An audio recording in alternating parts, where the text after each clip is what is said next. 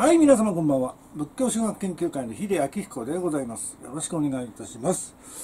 はい、皆様からたくさんの高評価、いいねコメントいただきましてありがとうございます。えー皆様からの応援が将来のカルト宗教被害撲滅につながると思います。今後とも応援よろしくお願いいたします。はい、今回の動画はですね、えー北山本門寺についての検証をしてまいりたいと思います。えーこの北山本門寺という寺院はですね、えー現在日蓮宗に入っておりますがもともとは、えー富士門流日光門流の八大本山の一つでございます。はい。で、まあ、八大本山は前にも検証しましたけども、大石寺、富士妙蓮寺、小田妙本寺、北山、西山本門寺、えー京都養坊寺、北山本門寺、伊豆実城寺、小泉久遠寺と。この8つあるわけでございますね。はい。で、このうちの北山本門寺、伊豆実城寺、小泉久遠寺が今、日蓮宗で、えーございます。はい。で、この北山本門寺はですね、えーまあ、現在、日蓮宗七大本山の一つになっております。はい。で、えーこの七大本山といいますのは、まず池上本門寺、そして、えー小泉えー小湊誕生寺、それから仙光山清張寺、それから中山法華経寺、そして、えー京都妙見寺、そして京都本国寺、そしてこの北山本門寺。これ7つあるわけですね。はい。えー、まず、池上本門寺はもうこれは有名でございますね。はい。日蓮があ入滅したあところでございますね。はい。えーそれから小湊誕生寺というのは日蓮が生誕したところ。もう霊石でございますね。続いて、仙光山清張寺は、日蓮が立宗宣言をしたところでありまして、また、あ最初にえ出家したところですね。道前坊の下で出家したところでございます。え中山法華経寺。これは、日蓮の、まあ、弟子旦那であります、時上人の屋敷の跡が、現在、中山法華経寺になっていると。いうところでございます。そして京都妙見寺というのは、日蓮の弟子の六老僧の日露の弟子の日蔵という人が初めてその京都に、え開教した時にですね、えー作った最初の京都開教の寺院でございます。それからその京都本国寺。これはですね、もともとその鎌倉の松葉ヶ谷の草案にあった法華堂が、日蓮の滅後にですね、京都に、まあ、移転して作った寺院が、その京都本国寺という寺院でございます。まあ、このように7つ、日蓮宗の七大あの本山、大本山があるわけでございますが、そのうちの一つがこの北山本門寺。えー北山本門寺はその富士門流の大 本山ということになっておるわけでございます。はい。えーそれでですね、この日蓮宗大本山の北山本門寺なんですが、まあ、通称名はですね、まあ、富士山本門寺とか北山本門寺というふうに呼んでおります。北山本門寺とはこれ通称名でありますんでね。はい。じゃあ、正式な名前は何というかというと、この、ここに書いてありますね。えー日蓮宗大本山。富士山、重須、法華、本門寺、根源という、実に長い名前でございますね。はい。ここに載ってますね。はい。で、面白いのはですね、この、えー、法華本門寺の後に根源っていうね、載ってんですよ。ええあれ、面白いですね。おお寺の後の名前に根源っていうふうに載ってます。はい。えーで、なんでこんな根源っていうふうな名前になっているのかということですけどもね。はい。えーそれはですね、まあ、本門寺っていう名前のお寺がいくつもあるんですよ。はい。で、まあ見ますとね、まず池上本門寺、えーですね。それから西山本門寺、それから讃岐本門寺、それからですね、えー今日蓮宗の寺院に本円寺っていうお寺があるんですけども、この本円寺っていうお寺が昔、本門寺って名乗ってたんですよ。昔ね。はい。で、昔名乗ってたんですけど、今名前を変えて本円寺というふうに名乗っております。はい。それからですね、大石寺が将来名乗る名前としてですね、えー、富士山本門寺というふうに名乗るというふうにされております。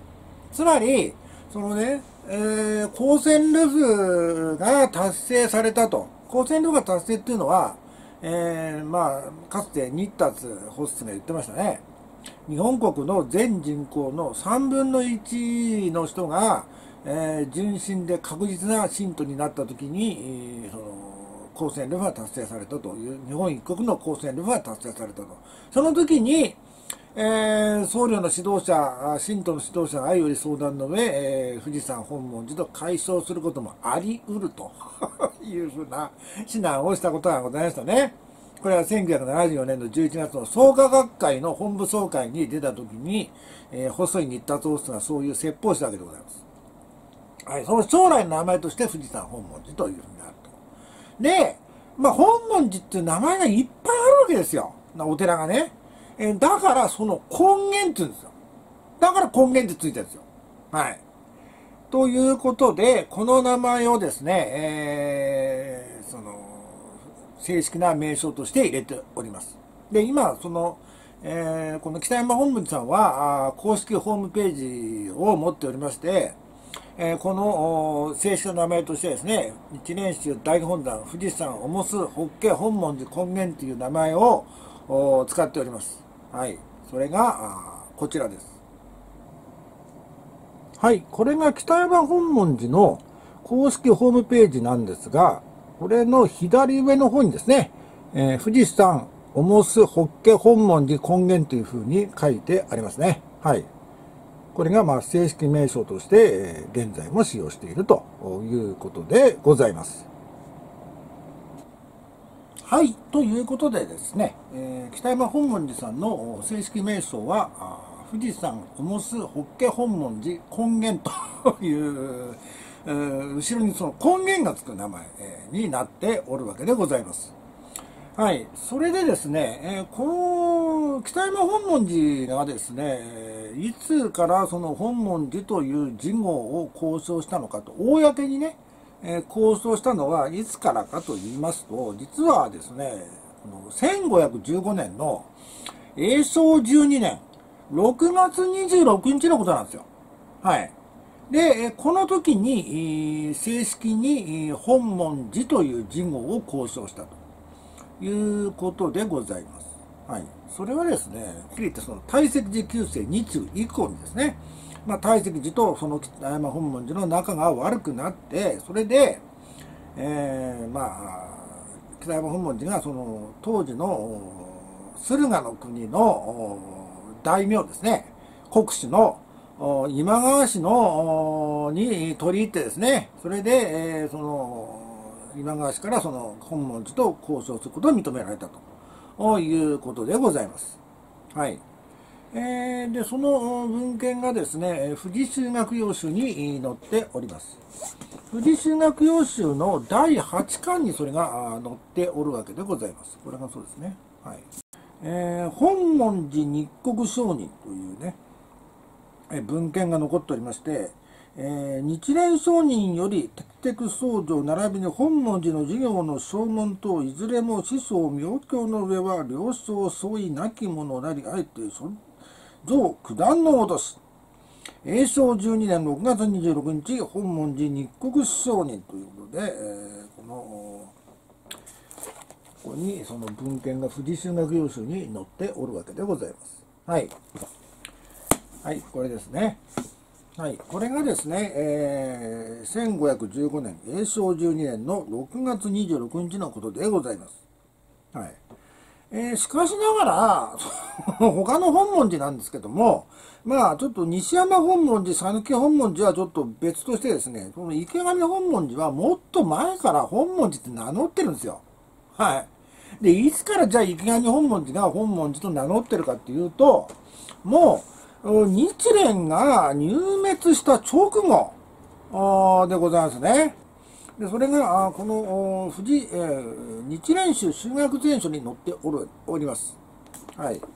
えー、これは日露第2層ですね。その、意外に本文では第2層の日露商人の文献として、この置き文っていうのがありまして、円形2年正月日っていうのに、ここに第3池上、長栄山本門寺っていう、この、出てくる、名前が出てきております。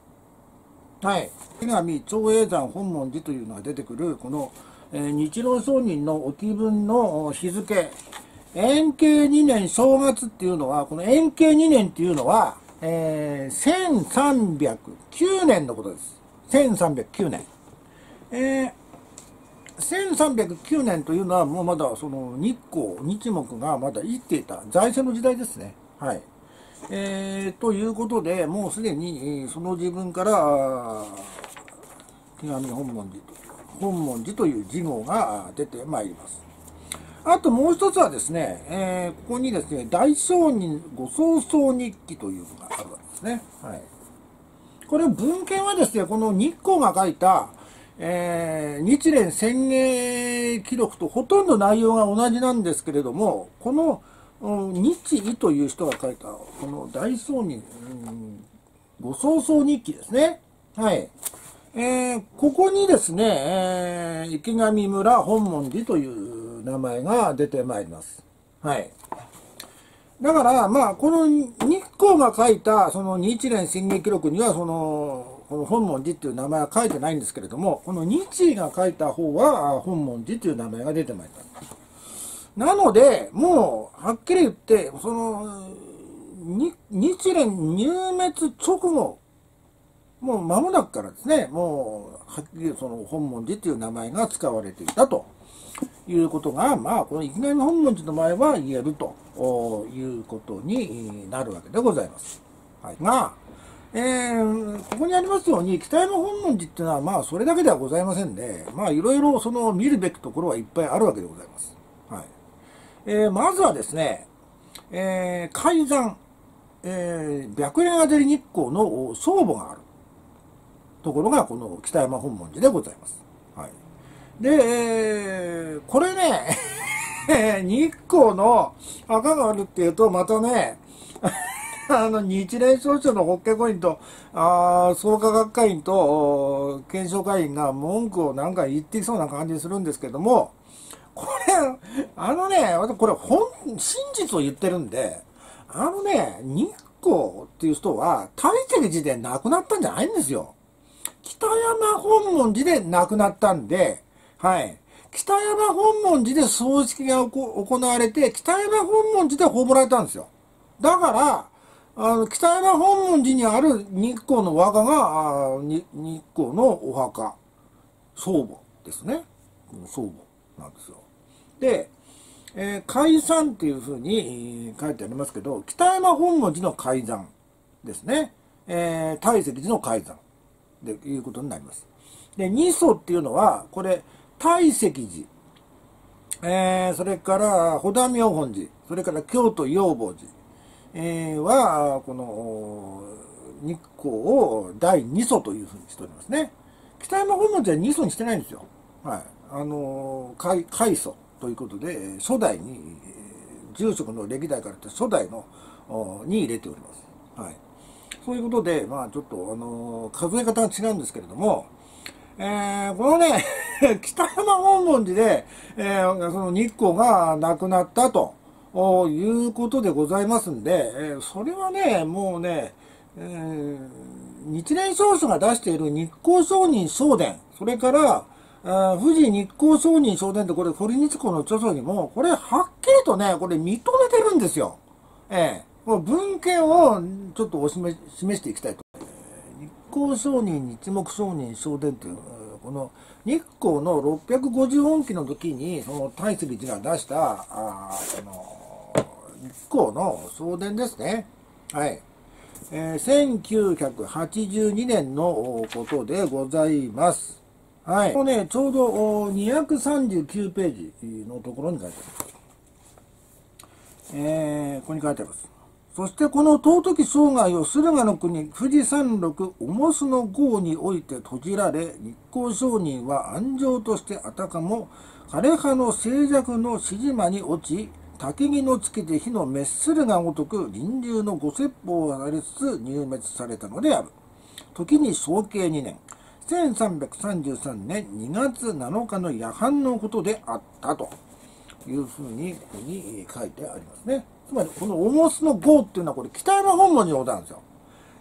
北山本門寺って書けばいいのに、北山本門寺って書かないで、えー、こうやって、えー、重須の号なんて書いてるんですよ。で、下になんか三子なんて大石寺の三子を載せてんだけど、で、こういう、うん、大石寺の三子に葬られたんではないんで、北山本門寺に葬られたんですよ。はい。えー、でですね、ここに、さらにですね、この240ページには、こんなことが書いてあります。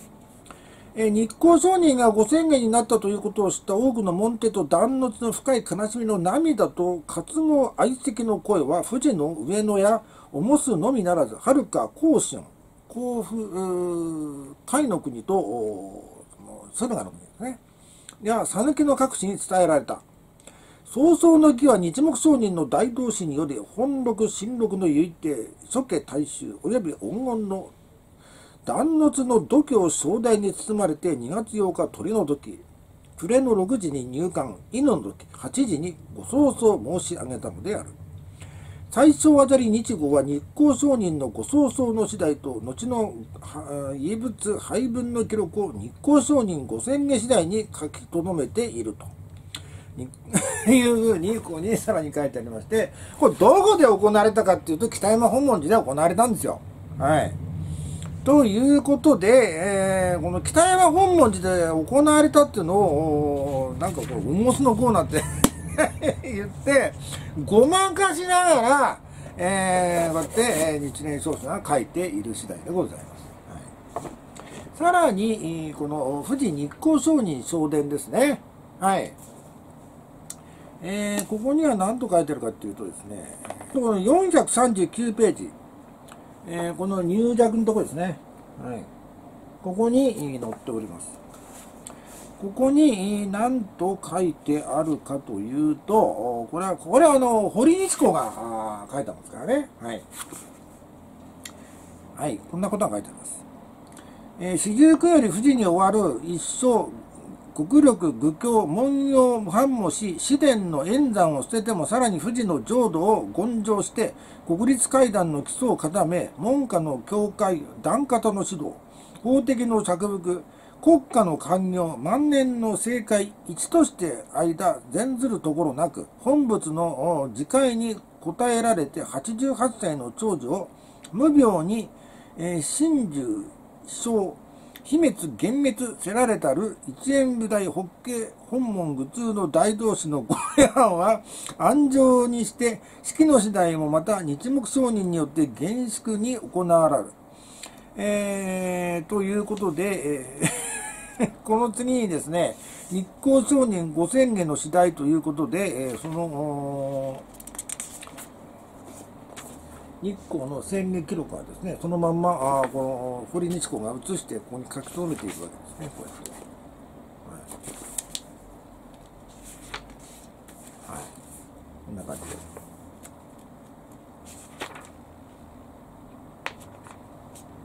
はい。こんな感じで、えー、書き留めているわけでございます。その日光商人五千下次第というね、その、最小あじゃり日号が書いた、その日光の宣言記録はどこに載ってるかというと、この日蓮宗修学全書の第2巻に載ってるんですよ。はい。えー、で、それが、これでございますね。はい。えー、こんな感じで、えー、載っております。はい。ずいぶん長いんですよね、これ。はいはい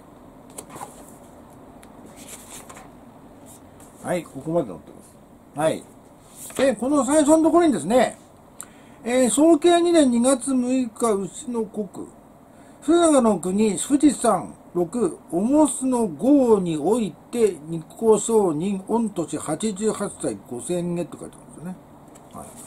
この一番最初のところに、このおもすの5って書いてある。このおもすの5っていうのは、この、いわゆるこの北山本門寺のことを指しているわけでございます。はい。日光の勝負は今どういうふうになってるかっていうと、ちょっと写真、私がかつてその北山本門寺に何度も行っておりますんで、その時に撮影した写真をですね、えー、お見せしたいと思います。はい。それが、あこちらです。はい。これがですね、北山本門寺にあります日光の聖母 なんですよね。はい。これが私があの北山本門寺に、まあ何度も行ってるんですけど、その時に撮影した写真でございます。で、なんか随分荒れ果てた感じになってる風に見えるんですが、えー、なんでこんな風になってるのかっていうと、その北山本門寺さんの話によれば、えー、昔のまんま残してるからこういう風にしてんだと。いうことでございますね。はい。で、えー、こんな感じです。はい。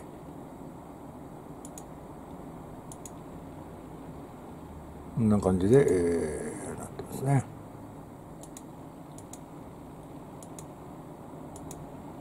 はい。これが、あ日光の勝負でございます。はい。続きまして、北山本門寺の重宝のお話をしたいんですが、北山本門寺の重宝として有名なのが、こちら2つございますね。はい。えー、まず、日蓮神筆の曼荼羅本尊であります、鉄砲曼荼羅でございます。これ、鉄砲曼荼羅ってのは前の動画であのご紹介しましたね。あの徳川家康があ戦に行くときにその日蓮の神筆の曼荼羅を持って行ったら、あ鉄砲がですね、その またの貫通してですね、徳川家康の命が助かったという言い伝えがある曼荼羅でございます。まあ、これはあの日蓮神筆の曼荼羅だということで、えー、現在、その、えー、日蓮大聖人神筆五本尊集にも載っております。はい。いう鉄砲曼荼羅が北山本門寺にございます。それから、その本堂に祀られております日蓮の木像ですね。はい。これが小見えというふうに言われている日蓮の木像でございます。はい。で、えー、これは、あの、泉港日報が作ったというふうに伝承しておるわけでございますが、これはちょっと非常にその疑義があるわけでございます。果たしてそんな泉港日報が、あその、小見えを作ったことについては非常に疑義があると。これあの、階段の大本尊の偽作の真実のシリーズで、階段の大本尊を本当に、えー、泉公日本が彫刻したのかという検証したときにですね、えー、ほんな諸ケ層が、そんな大事なね、板本尊を彫刻するわけではないと、いうことを申しました。これとほぼ同じ根拠ですね。はい。そんなね、日蓮のその木像をそんな諸家層が作るってちょっと考えにくいですね。しかも、えー、日蓮が生きてる時にそんな日蓮の彫像を作ることもちょっと考えにくいわけでございます。はい。で、その小三重が祀られているその北山本門寺の本堂なんですが、えー、本堂の写真もちょっとお見せしたいと思います。それが、こちらです。はい、これがですね、北山本門寺の本堂の写真でございます。まあ、北山本門寺には何度も行っておりまして、その時に私が撮影した写真でございます。はい。で、ちょっと他の写真もお見せしたいと思いますけども、はい。こんな感じです。はい、無賃ですね。はい。こんな感じです。はい、これは渡り廊下ですね。で、これはあの本堂の中でございまして、えー、このシミ団を撮影したわけですが、このシミ団にその小見栄が祀られているということでございます。はい。続きまして、北山本門寺の重宝として伝承されているもので、まあ、有名なものが2つありましてですね、この本門寺死体と、えー、本門寺参道の名札っていうのがあるんですよ。はい。これでございますね。はい。本門寺額、それから本門寺参道胸札。はい。でこれはどこに載ってるかって言いますと富士修学行集の第8巻に載っておるわけでございます。ねえー、富士修学行集の第8巻。はい。これの142ページ。えー、この北山本門寺本松の文という感じで、ここに堀日子がこんな風に載せております。はい。えー、ここですね。これが、あ、これ。これが本門寺北へ。それからこっちが、参道宗札でございます。えー、この本門寺根源の死体って言うんですけどね。はい。えー、年代は決してないが、大商人の恩筆なるを天正9年に他の重宝とともに武田家に強奪せられたということで、その前の時の漢図、日での写しが現存すると。いうことでございまして、えー、この日蓮がこんな 大日本国富士山本門で根源というふうな こんなね、寺の死体を作ったって言うんですよ。これありえないでしょ、こんなん。ねえそれから次はですね、その日光が作ったその参道宗札っていうのもあるって言ってるんですけどね。はい。えー、これはですね、日蓮商人三重堂、本下水弱天正大神宮、法華本門寺根源、国主この法を立つるの時、三道一時に造営すべきものなり、元首、白円あじゃり日光ありはんって書いてある。こんな参道宗札は今度は日光が作れてたんだけど、これも怪しいですよね。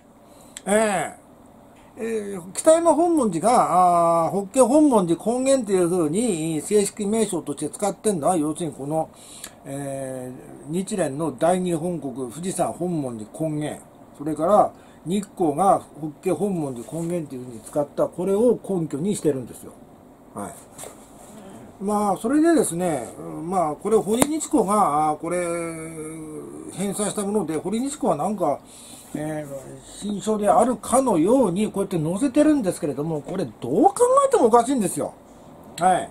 もう、本門寺額も、参道宗札も、どう考えても、これは、あ偽作だと言わざるを得ません。はい。こんなの作るわけないんですよ、こんなの。はい。大体ね、これ、あの、本文字根源なんてね、ね、どう考えたって、これ、あの、もう先に池上本文字って本文字があるわけでしょ？それに対抗する意味が、で作ったことはもう明らかなんですよ。はい。で、しかも、現在この三道宗歌については、その今日蓮宗が準宗法にしてるっていうことで、なんでこんなものを準宗法にしてんだか、やっぱりわけがわからないということでございます。で、しかもこの本門寺死体っていうものをですね、この、この額をですね、現在ですね、北山本門寺が仁王門にその掲げておるわけなんですよ。はい。で、それをまた写真でお見せしたいと思います。はい、それが、こちらです。はい。これが北山本門寺の表玄関の仁王門の写真でございます。これも私が北山本門寺に過去何度も行った時に撮影した写真でございますね。はい。で、えー、この仁王門の上の方に本門寺根源という死体が出てるのがお分かりいただけると思います。で、そこのところをですね、ちょっと拡大した写真もございますんで、それもご覧いただきます。はい。この本文で根源ってこれですね。はい。で、もうちょっと近づいてみると、こんな感じです。これが本文寺根源というその死体をですね、えー、今も仁王門に掲げておるというところでございます。はい。ということで、えー、まあ、今でもその、日本にその、本門に根源論っていうね、えー、期待を掲げていると。これをですね、本門寺根源の根拠にしているわけなんですが、えー、本門寺っていうと、二課の僧正じゃないかっていう方がいらっしゃるわけですよね。まあ確かにね、その、過去に、北山本門寺に行って、その三河僧正を移したというのが古文献にいっぱい出てくるわけですよ。え京都養母寺の構造院日誌も北山本門寺に何度も行ってそれで二課の僧正を書写したということが出てくるわけですよ。はい、でこの二課の僧正のこれですねもう前もお見せしました。はいえー、国主この法を立てられれば富士山本門寺の階段は建立せらるべきなりというね、はい、この二課の僧正これをね、あのー、北山本門寺さんで、えー、重法として、えー、その大事にしてるんじゃないかというふうに思うんですが、今ですね、この北山本門寺さんのホームページを見ても、えー、このご宝物の中に二課の僧正が入ってないんですよ。まあ、二課の僧正、どう考えたって偽書ですよね。で、偽書だ偽書だっていうふうに、えー、追求されて、えー、ついにその撤回したあではないかなというふうな感じもするわけなんですよね。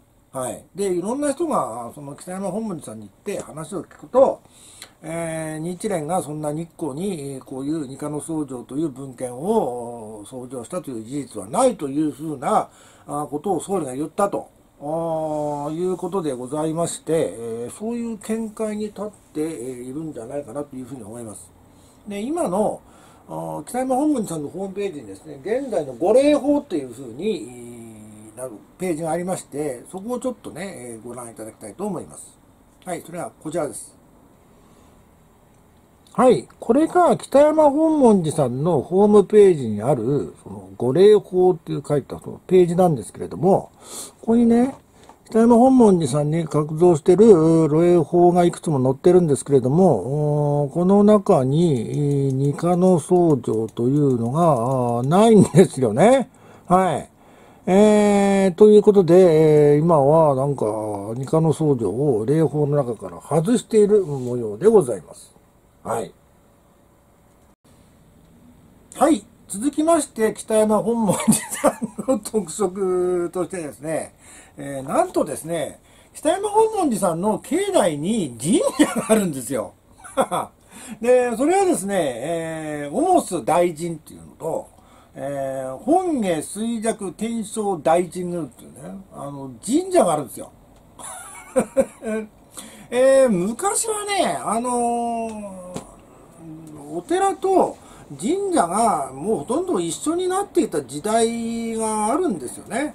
えーであの本下水弱説なんつってなんか仏となんか日本の神様をごっちゃにしたような思想がありましてそれであの神社とその寺院がもうくっついてたのが結構昔あったんですけれどもまあ明治の時代にその神仏分離令というのが出ましてで神社と寺院を分けたんですよね明治政府が。はいえー、ということだったんですけれども北山本門寺さんの場合は今もそのお寺の中に神社があるということでございます。で、この本下水弱天正大神宮っていうのは、先ほど、その、お見せしました、えー、参道胸札にも出てきてますよね。はい。えー、さっきお持ちしたこの三日光が書いたと称している参道胸札。はい。ここにですね、えー、国主この法を立つるの時、三道一時に造営すべきものなり、元首白蓮あじゃり日光ありはんって書いてあるんですよ。で、その三道っていうのは日蓮上人三重堂。で、本下水弱天正大神宮。で、法華本門寺根源って 書いてあるんですけどね。あのー、これね、国主この法を立つるときに三道一時に造営すべきものなりって書いてあるのに、じゃあ本下水弱天正大神宮ってじゃあその国主が法を立てたときに立てる、立てなきゃいけるいけないはずなのに、もうすでに 昔から北山本門寺にあるわけなんですよ。なんか、もうなんて書いてあることと全然矛盾してるんですよね。ええ日光の遺言だったら、じゃ今立つといけないんじゃないですか。はい。三重堂だってそうでしょ？三重堂だって最初から北山本門寺にあるわ、あるのに、この参道の中に書いてあることもなんかおかしいんだよ。だからこれも、偽作だと。ああいうふうに申してるわけでございます。はい。それで、あの、北山本門寺さんの中に神社があるっていうのはもう、北山本門寺さんのホームページも載ってますんで、そちらでちょっとご紹介してみたいと思います。はい。それが、こちらです。はい。これがですね、北山本門寺さんのホームページに載っている境内図でございます。えー、ここに、えー、富士山法華本門寺根源略図って書いてありますね。はい。でここが二王門で、えー、この本堂、三重塔って書いてありますね。はい。ここが先ほどお見せした本堂です。はい。で、その奥、奥に、えー、オモス大神っていうのと、ここに水弱堂ってのがあるんですよ。はい。で、この水弱堂っていうのが、さっき言ったその天正大神 の神社なんですよね。はい。